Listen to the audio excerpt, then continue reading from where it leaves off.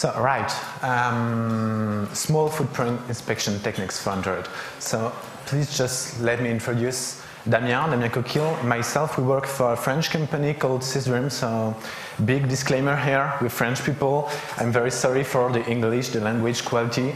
And don't please stop us if anything gets just confused because of the language. Uh, apart from that, you might have guessed, thanks to the title, that we are uh, two people that enjoy reverse engineering. And we are, actually. So we are going to speak about one little technique called small footprint inspection. Um, this little technique is somehow very simple to explain, but usually very difficult to apply to many systems. In fact, on the Android platform, it is very easy to perform small footprint inspection, and we will see why we want to do that and how we will do small footprint inspection. So first, reverse engineering. What is it and why would you do that? Reverse engineering is somehow uh, a field where you just, you just have a look inside the things. You just have a look inside the program, inside the computer. And why would you do that? Some of you, most of you, I think, because of curiosity. You're too curious to just stick with running the program without knowing what's behind the curtain. And that's why those kids do reverse engineering. That's why you would do it, I think. Some people would, would also do reverse engineering because they are making security assessments. They just want to know why the application is running that way because they have to assess that it won't break or it won't be broken into. Some other lame people will do cracking. They will just take an application and build some key generator or some security bypass. And to build that, they have to know how the key is verified or how the security is applied. So they have to know what is in the application. They have to know the internal mechanisms. That's another use of reverse engineering. And there is also this whole field of software. There's many applications that are built to communicate together but that do not very well interoperate with our applications. Maybe some of you remember the magics of Microsoft, uh, Microsoft Network, uh, also, also well known as MSN. It was a very good uh, chat network, but the client, and the software, uh, they used a proprietary protocol, and you couldn't actually interoperate with the, the server without reversing the protocol. That's another use of reverse engineering. Just make sure, make sure the things can work together. And how do, how do you do that? You globally, you, you explore the internals of the programs of the application, and you try to understand everything. That's why you do reverse engineering. And how do you do that? You have hundreds of ways to do that. It depends on the platform, depends on the kind of thing you're reverse engineering. But for software, there are two main ways to do reverse engineering. There is static analysis, uh, the one we want really focus on today. But yeah, what is static analysis? You just have a look at the program statically. You look at the bytecode, you use tools to reverse the bytecode to make it humanly readable. And you make plenty of assumptions, assumptions about how the program would work if you would run that functions or whatever. And there is also dynamic analysis, which is kind of the opposite of static analysis. In terms of computer software, when you do dynamic analysis, what do you do? You monitor whatever is available about the program. You monitor the memory, the execution path, anything. And then you run the program. And you run it again and again, just like you would do fuzzing. But actually, you are observing the state of the application, the internals, and you try to guess what actions reflects in what internal of the application. If I click on that button, that variable in the memory, it's changed. And you try to guess how the application works internally. These are the two main ways of doing reverse engineering in software. For both of those ways, you make assumptions. But I like to compare dynamic analysis with a very different field, which is physics. I like to make this comparison between reversers and physicians because both physicists, sorry, uh, both do some very similar things they consider a system or a program or whatever, and they monitor what is available to monitor. And then they apply actions. They do things on the application, they do things on the systems, and they generalize from the observations.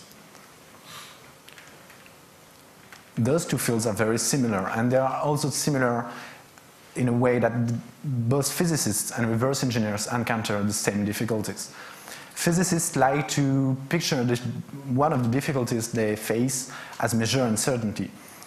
as much as you can observe a system, the deeper you observe it, the more you modify its behavior, and the more what you generalize is biased. You have the same problem when you do reverse engineering. The more you inspect the application, the more you look at the internals, the more it will behave differently from the normal uh, actual behavior. So any report that you can build on an application will be biased by those side effects. Those side effects are very bad. I hate the side effects when doing reverse engineering. But there's a kind of people that love side effects, developers. I kind of like developers, but sometimes they're very annoying. And they like to amplify the side effects. They like to take the, the side effects, amplify them on purpose, and even sometimes invent new kinds of side effects. They're very tricky, they're very, eh, they make my job very hairy, terrible, absolutely terrible.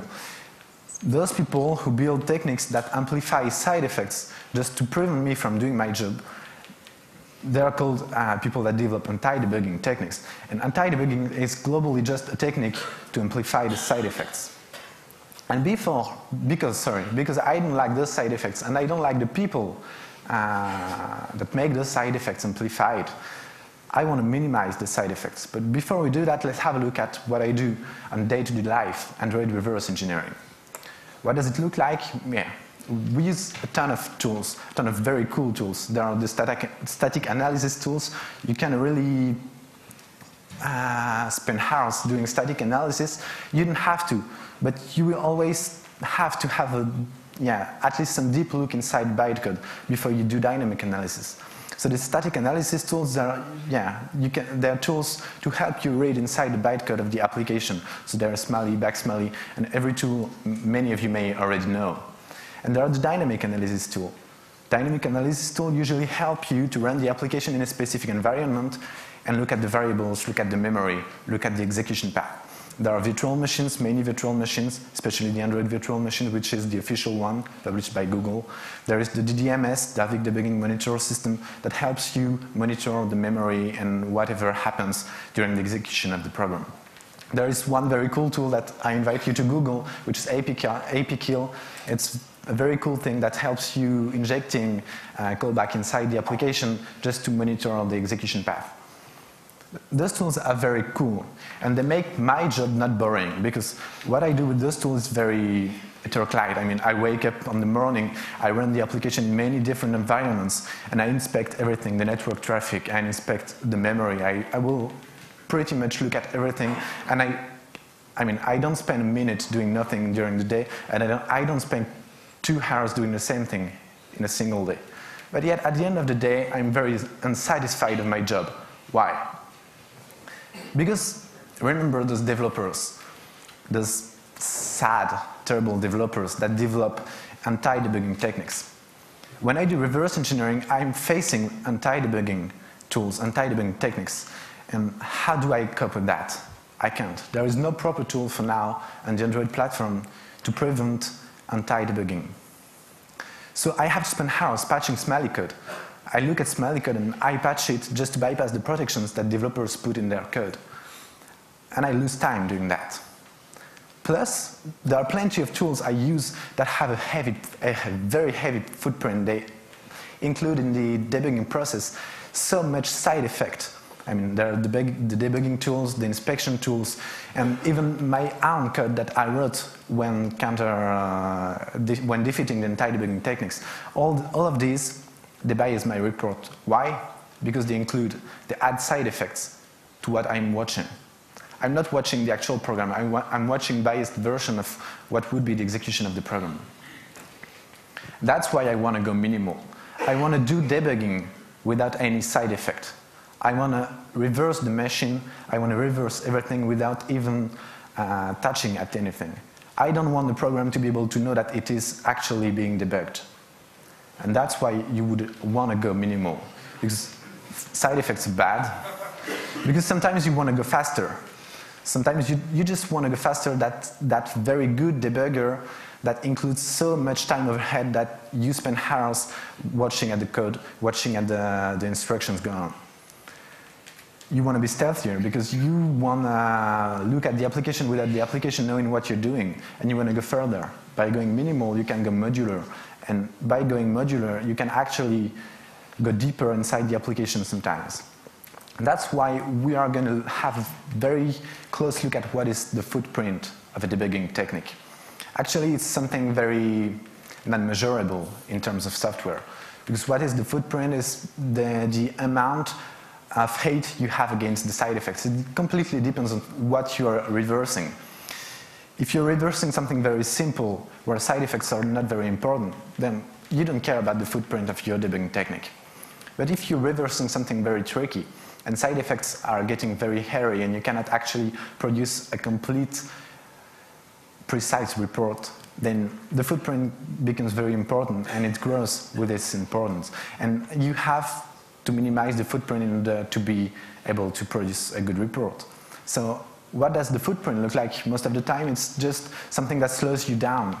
It adds overhead, uh, time overhead, memory overhead, and all those terrible things, but that are not very, that do not very complicate your job. It just slows it down.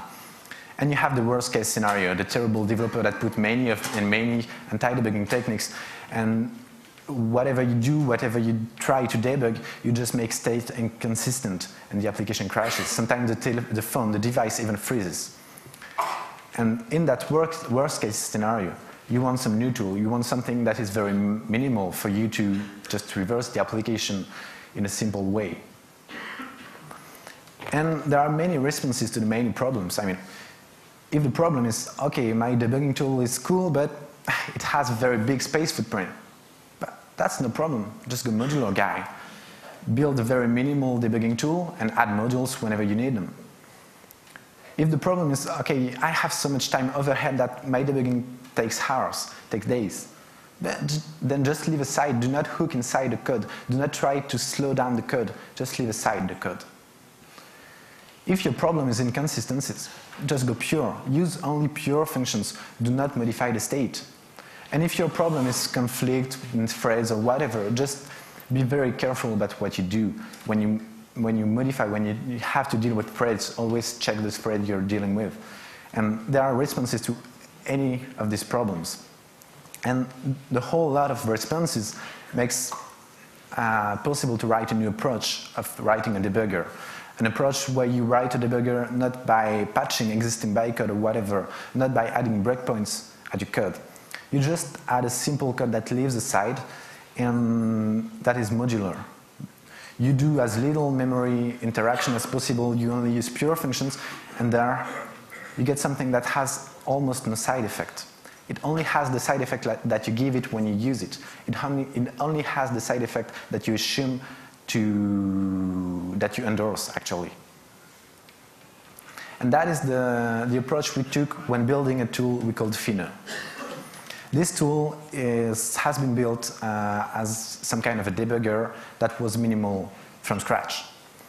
Uh, instead of um, writing a, a, usual debugger and going sketchy, going sketchy, add plenty of functionalities, plenty of abilities, and note the side effects, then going back and correct the side effect, and then adding more modules, we write something with a very different approach. We started by putting avoiding side effects as a core design concept. And then we added functionalities, still avoiding side effects. And by doing that, we cannot go very deep because we always have the problem of side effects, but we can go as deep as possible without the application even noticing it is debugging, it is debugged actually. So how do we do? Maybe some of you don't know actually how an, an Android application looks like. It's very simple. It's a big archive where you put many things. There are activities, the things that are displayed to the user. There are services, the thing that run in the background. There are broadcast receiver, the thing that in there that just deal with the messages of the system. And all of these are uh, registered in the in the manifest. What we did with Fino was inject some dead code in the application. We took the application and we injected some dead code, some dead code that is never referenced anywhere in the application. And by not being referenced anywhere, it is never called. It has to be called by the system.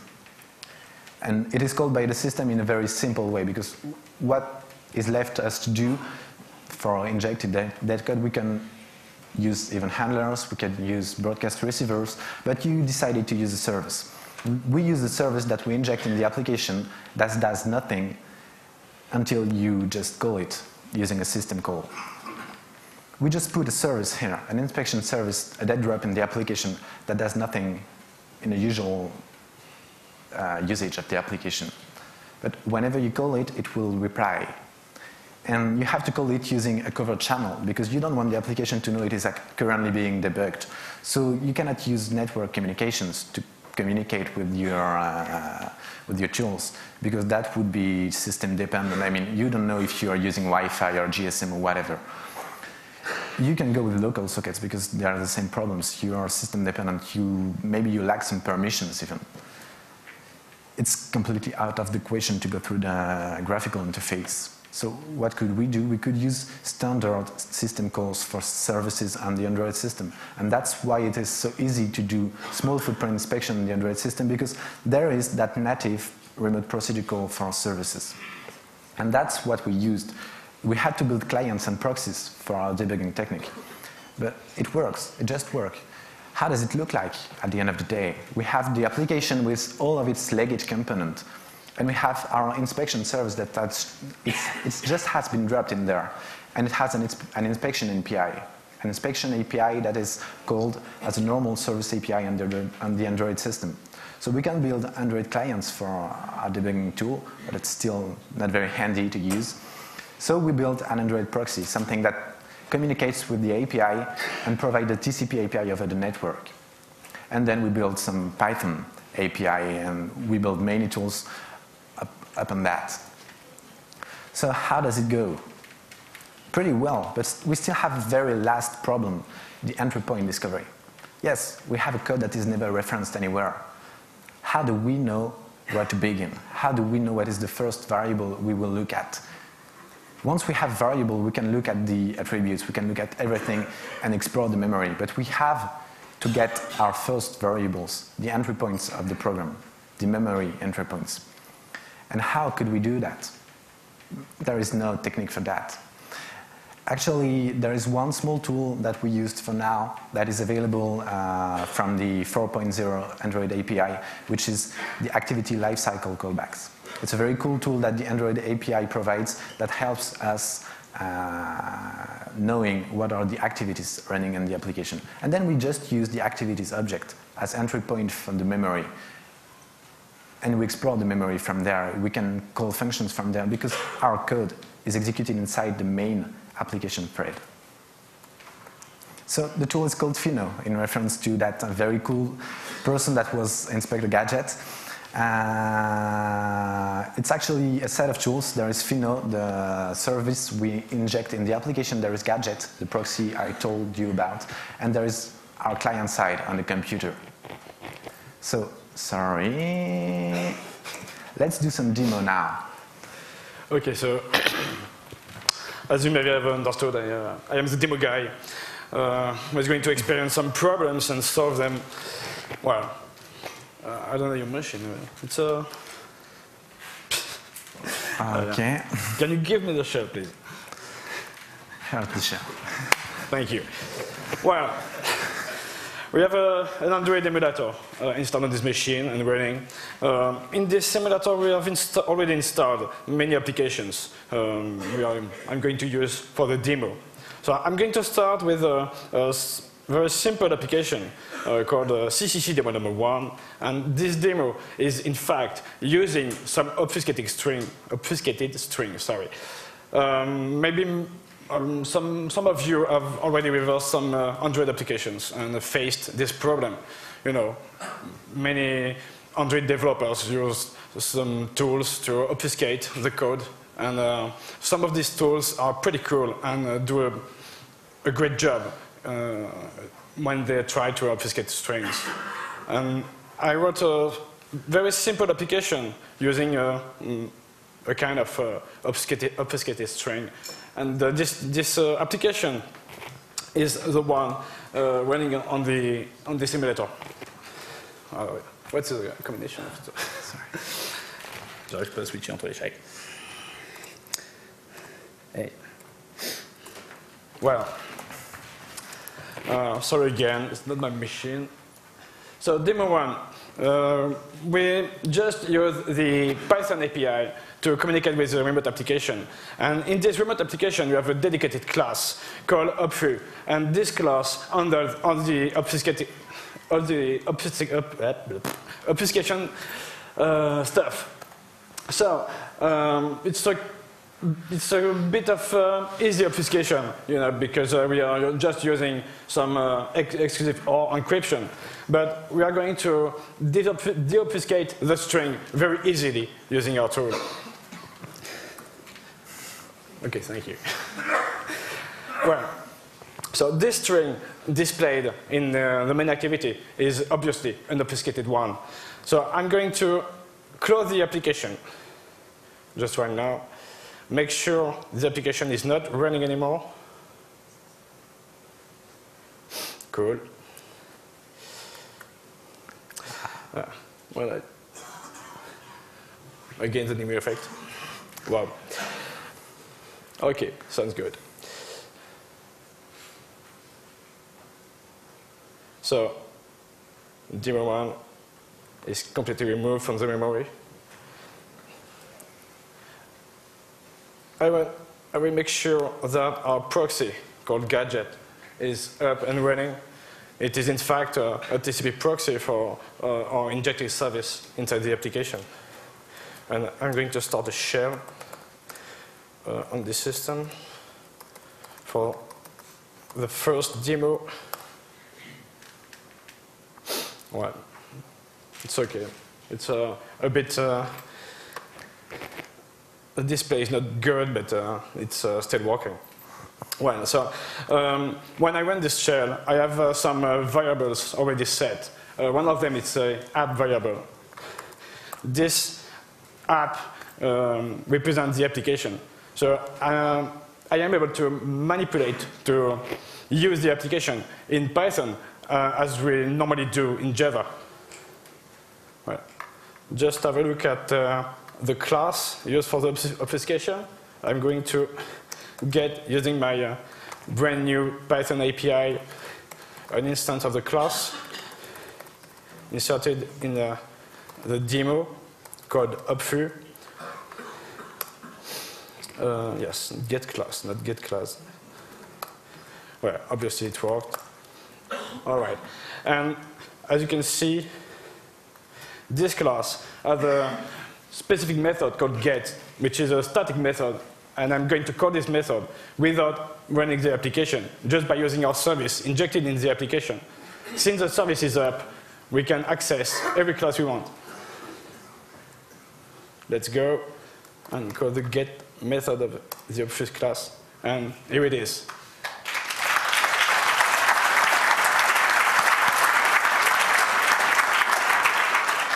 But of course, we can do a lot more with this, uh, with this tool.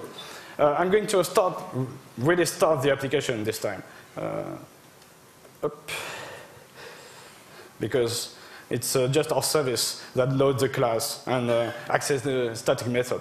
So I'm going to launch the applications and uh, do some other stuff with it. So we, here it is, it's the obfuscated string. I'm going to manipulate the title of the applications. So you can get the title with the Python API. It's, uh, uh, I, sorry, I, I, didn't get the, the activity anymore. Well, we can list all the existing activities by doing some, some code, and of course, another problem. Capital A to activity. Hmm? Capital A to activity. Oh, yeah. Maybe the stress, you know.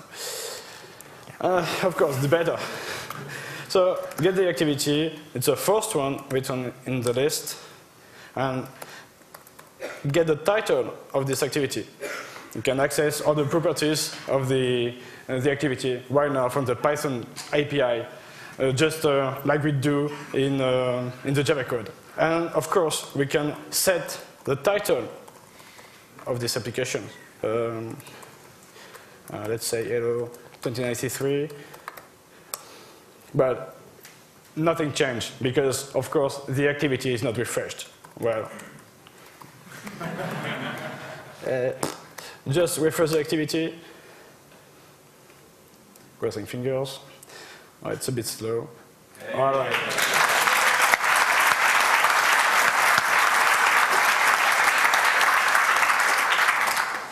And to finish this first demo, I'm going to close the, acti the activity. Here it is.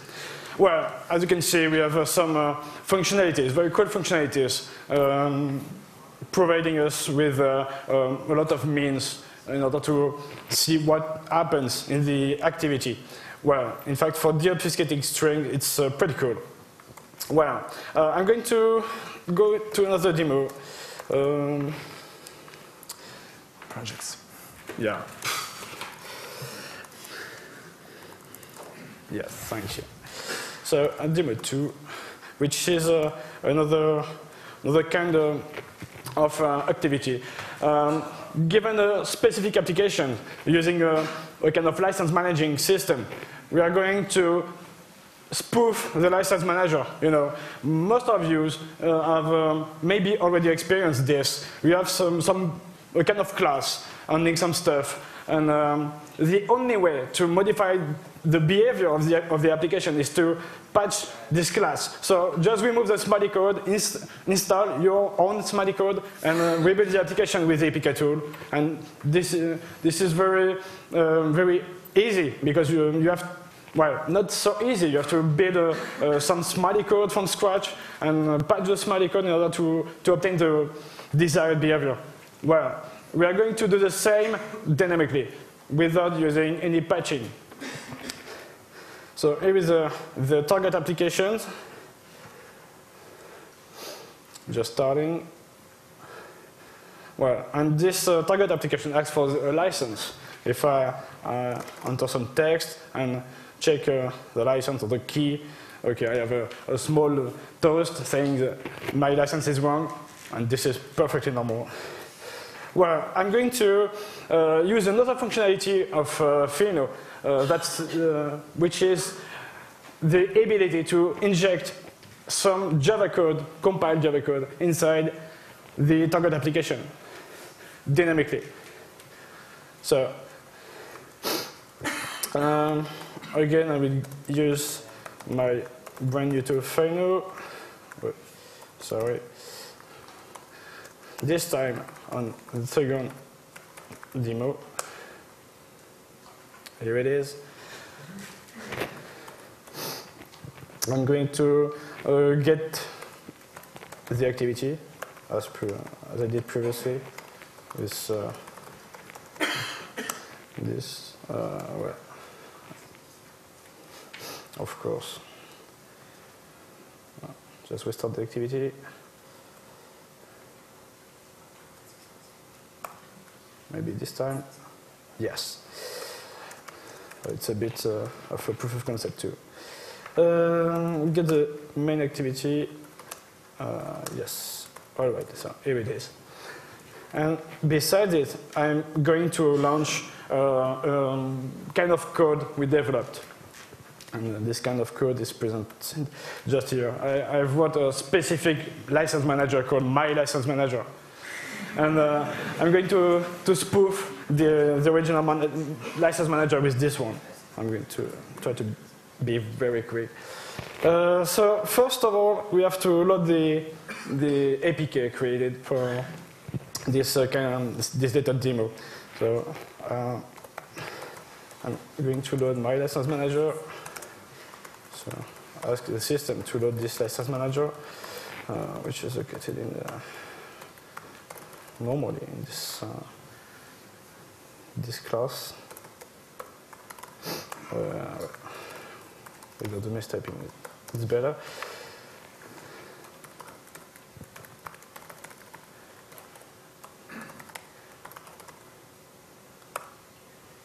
Yes. So here it is. I'm going to create an instance. Uh, in the activity, there is also uh, uh, completion.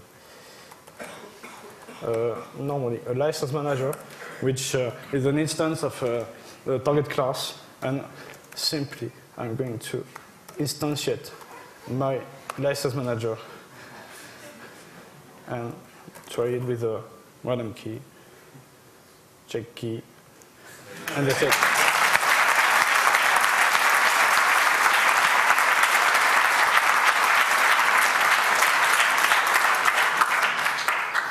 And uh, the last demo is a kind of uh, old school, uh, old school uh, stuff. You know, most of you, most of you reversals, uh, I've maybe already manipulated some uh, some games and maybe cheated.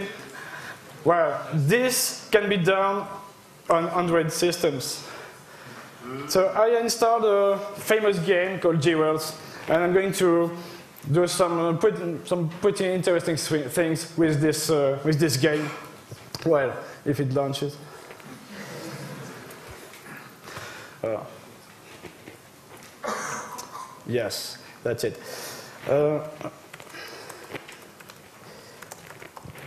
Going to demo three. So uh, I wrote a, a kind of trainer in order to cheat at Jewels for the first time. So I can start a new game. Well, uh, no, not this one. This is my settings. Nope. Nope. So, as I said, starting a new game, normal mode. Here it is, zero points, bonus one, and uh, the longest, longest chain I've made is uh, only zero. Well, anyway, just launching my trainer. Going, the trainer is going to use gadget to connect to the application. Once it's done, when, once this is done, I can just press enter. Uh, well, again, the demo effect. Damn. No, it's not. Uh, well, anyway, I'm going to use it uh, with the final and do it manually. Well, this is uh, less tricky, but it works. So we are going to cheat on Jewels. Come on.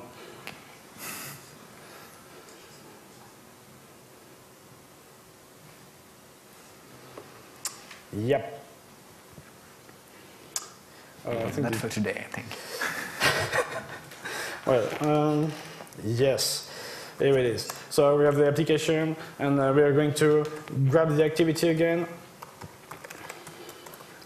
So just by filtering some stuff stored by Fino, it's uh, quite slow, and of course it doesn't work. Well, just restarting the activity. Sorry about that. Yes, I will cancel the game. Well, the last demo is the last, the other one. Uh, yes, want to exit. So just restart it. The service is still alive, hopefully. Well, uh, to be sure, I'll just restart the Fino client. Damn, er so Just er wait. Okay. Come on.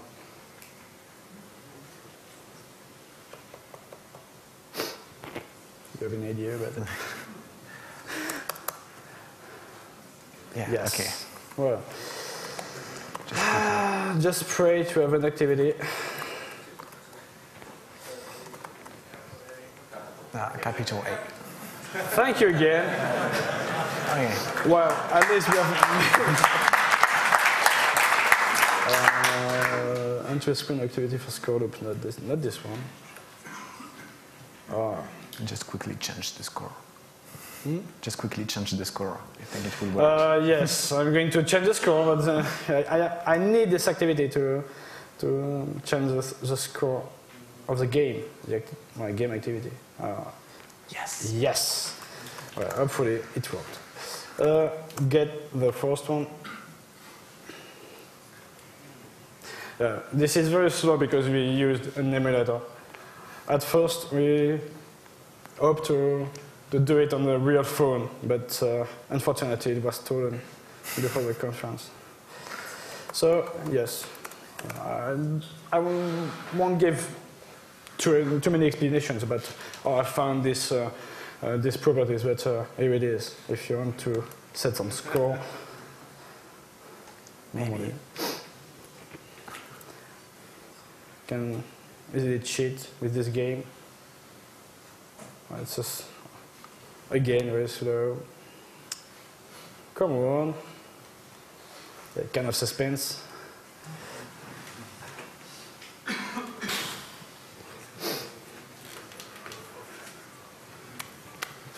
Anyway, um, the point was here. Um, usually, you wouldn't do that on an emulator because that is adding side effects. We would have liked to do this on a real phone because we wouldn't have any side have had any side effect. But yeah, as we said already, it was stolen. so it looks like the fruit device that you sacrificed wasn't yes, large enough it was. to accommodate your demo. So we're at the end of this presentation, but this room. Hey!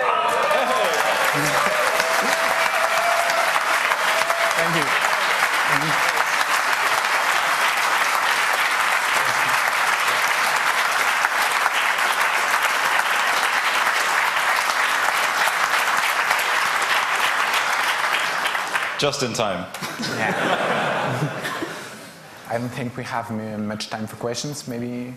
Well, this room isn't being used for anything right now. So if you have questions, we'll do some questions. Do, do the stream people, you have any uh, any uh, limitations? No? Okay. So if you have a question, line up at the microphones.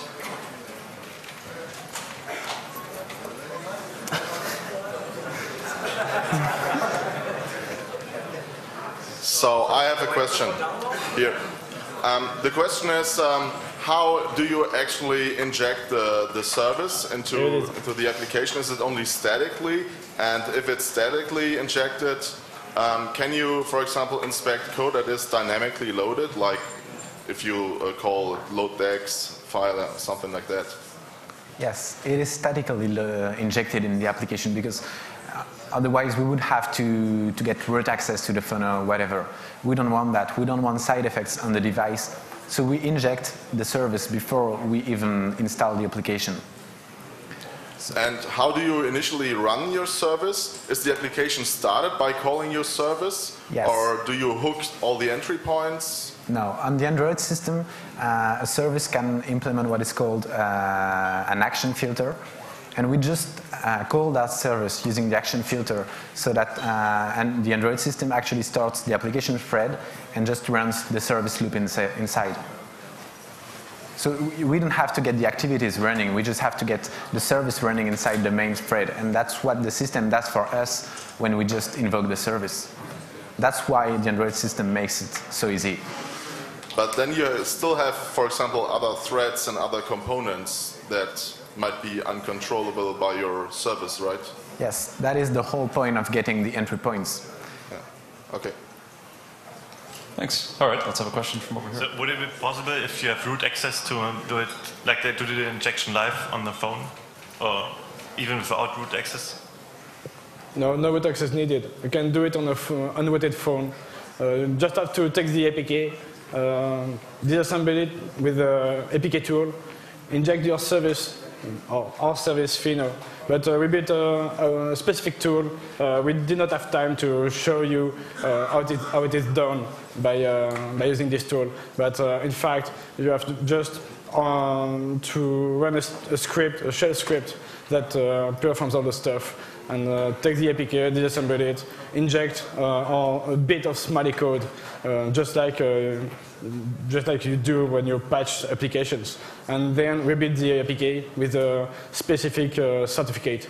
Uh, of course, we lost this, uh, we lose a certificate, the original certificate, but we use a, a, dedicated one to, to install it on the phone. So you can just enable uh, the Android options called uh, uh, install from any sources. I don't know from a, there is a specific option in, your, in the Android operating systems that allows you to install any, any kind of applications coming uh, from uh, outside the market. So you can just enable it, install the application using ADB or just a file manager, and then start it on your phone, and here it is. You just plug uh, your phone with the USB cable, um, do some stuff with ADB, just uh, forward a, a, TCP port to the gadget proxy, and here it is. Okay. You can just connect with the Python API. Okay, but there's no attack surface. You still have to uh, like circumvent the application um, signage. Um, if, if, you would use this as an attack. No. Um, the application can check the certificates and maybe okay. uh, detect if, uh, if, if, it's not uh, um, legit. No. Okay, thanks. But at least we are able to modify the application before the application okay. starts. Yeah. What you showed is more related to the Java part, the dynamic part of the, an Android application. Uh, do you have some facilities related to the extension that you can develop with the NDK in C++? Uh, we, for the NDK part, or NDK extensions, uh, we did not manage to uh, demonstrate some stuff, but uh, we can do uh, a very nice fuzzing with this tool. And it's particularly practical when dealing with native parts of applications. So we can uh, just circumvent uh, the user interface and uh, just call native, native implemented APIs in order to, to trigger bugs or anything else. Okay, so so you, you reverse to the old way of disassembling something native, if you have to. Yes. Yeah. of course. But you can you can swipe it. yeah, because we stick with the entry points and we use exclusively the Java reflection, so we can actually uh, read the memory as a raw thing. We cannot read uh, the NDK variables. We're stuck with the, the Java part, the dynamic one. Okay, thank you. Looks like we have a question from the internets wouldn't it be possible to detect the injected service whether via static or dynamic means? Uh, dynamically, it uh, can be detected because the package manager knows about the service. Well, to avoid this, um, it's, uh, it's easy to modify the name of the service. We call it uh, com.sysdream.fino, but you can call it whatever you want. So the only way to detect the service is uh, a way based on its name. So if you change the name, make it, uh, you make it a state here. Thank you. We have another question in the room. Um, if I understood correctly what you did, uh, you're um, reading and manipula uh, manipulating memory. Uh, are you also able to suspend and resume threads? No, actually we're not, because we only inspect the memory. And as we do not run the application in any specific environment, we do not use the debug uh, port or whatever, we're not able to suspend the application. Well, uh, I have uh, just something to add to, to what you said. Uh, there is a, a, way to suspend threads uh, if we can get uh, under or just a reference to the thread itself. So we can uh, just pause the thread, resume the thread if we have it in, a, in an entry point. You know, because we are, we're using a service, and this service only uh, allows us to communicate with uh, standard types. We cannot uh, uh, serialize all the data uh, between the proxy and the service. So we have to store some, some re references in the service and call them by reference okay. from the proxy side. So it, in fact, it is possible just uh, because you can get the reference uh, from the application when it, uh, if the thread is in, in Yes, well, yes. We have the application object, so we can get uh, whatever we want yes. uh, with the window manager or anything else. For the for your information, the refreshing stuff uh, that we did on the activity is not uh, implemented in the standard API. We have just called a uh, called a specific method called post invalidate on the window. Uh, on the main view in order to force the system to refresh on the, on the sub-views or activities. Okay, thank you. Any more questions? Uh, you talked a lot about uh, stealthiness, and is stealthiness, stealthiness really a practical issue for you when reversing applications? Is it uh, more uh, an issue for benign software or for malware? So, what, what do you use it for? Um, 90% of the time, stealthiness is not a, an issue. 90% of the time, you get applications that do not really do anti-debugging, uh, expect for uh, usual ProGuard and all that stuff. But 90% of the, uh, of the time, stealthiness is not a problem. But those very least 10% of applications that do anti-debugging, those applications that will crash if you run them in DDMS, those applications that actually detect debugging environment, for those ones, it's very useful to have a tool that actually does not perform proper debugging. It's just service injected. Um, if I can add something else. Um, there is a, another possibility, another feature offered by this, uh, this tool. Uh, if, um, of course, so that's, the stealth is not uh, obviously the main concern in most of the cases, but sometimes, uh, anyway, this tool provides a, a way to to test modifications or some tampering on the application dynamically, which is uh, much more, uh, much more, much which is faster than, the, than just patching the smali code and rebuilding the application, installing the application, delisting the application, do some patch again, and, uh, and, uh, and, so on. So uh, it's uh, also practical for us to use it, even if the, the test part of the application is not a, a concern for, for the test anyway, to be stealth is very important to have unbiased report uh, because uh, we uh, do generally do some uh, uh, Android application seeing for many clients and uh, they expect a report with which is which represents the exact I don't know the inner working of the application, not biased by a, an injected tool or anything else, or just a patching. You know, when you patch an application, you can you can cause side effects which uh, uh, could be dramatic in your conclusions. Okay, thanks. All right, thanks again to Pierre and Adrien.